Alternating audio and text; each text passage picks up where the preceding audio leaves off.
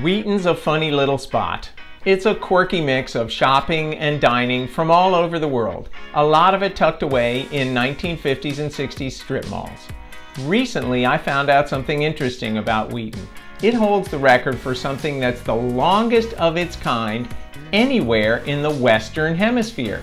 Stay tuned to find out what.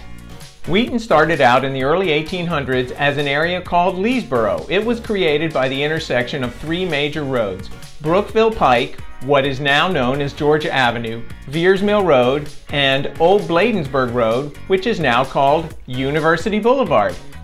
For a little while, Wheaton was called Mitchell's Crossroads, which was named after a tavern owned by Robert Mitchell at the corner of Georgia Avenue and University Boulevard.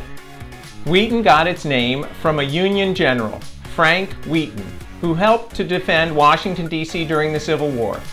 Things were kind of quiet in Wheaton until after World War II when, like many D.C. metro suburbs, Wheaton saw tremendous growth. A landmark moment in the history of Wheaton came with the opening of Wheaton Plaza in February of 1960. At the time of its opening, Wheaton Plaza was the largest shopping center in the DC metro area and the sixth largest in the entire United States. 411,000 people visited Wheaton Plaza during its first week in business.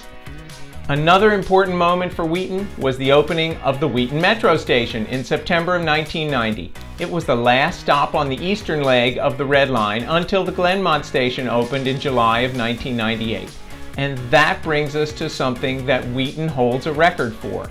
At 230 feet in length, the escalators for the Wheaton Metro are the longest set of single span escalators in the Western Hemisphere.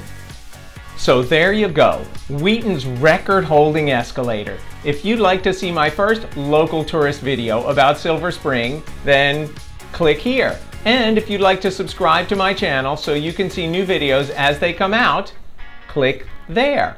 Thanks for watching and stay safe.